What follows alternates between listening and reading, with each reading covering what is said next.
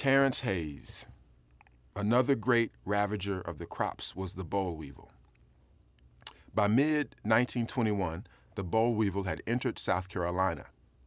In a 1939 interview for the Federal Writers Project, South Carolina native Mose Austin recalled that his employer was adamant he don't want nothing but cotton planted on the place, that he dep and after raised cotton to get more money to pay with.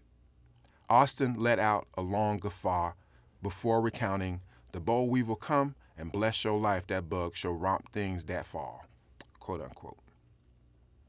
Right now, when I should be considering the tracks of black folk slanting and fast drying tempera, I am picturing a brood of boll weevils migrating to the U.S. in bales of Mexican cotton, or maybe the bowels of the great Galveston hurricane, or the ears of four apocalypse horses, or maybe hidden somewhere on an industrious industrial train traveling from one corner of the South to another around the time sharecroppers and other restless black folk figured it was time to head north.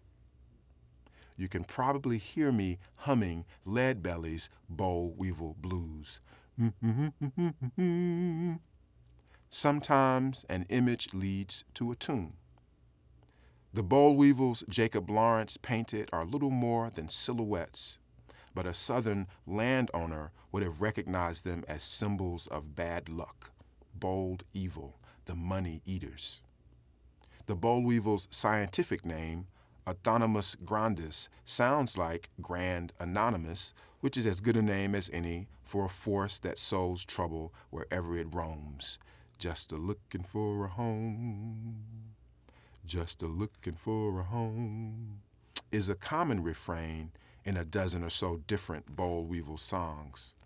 They crossed the cotton belt, ravaging about 60 miles a year, and reached the Carolinas long before I was born. But I wouldn't know them from the raspberry weevils or apple blossom weevils or the weevils that share my appetite for corn. I have never talked with the boll weevil, but when I hear crickets cricketing, I know insects and creatures like us basically ponder the same things solace, survival, multiple genres of longing. I remember how seeing a white woman walking alone a few steps ahead of me late one night spooked me so much I slowed and cast a harmless warble into evening. Mm-hmm. Sometimes, even at a distance, I know what unsettles this country can also unsettle me. Sometimes fear tells us exactly where we are heading.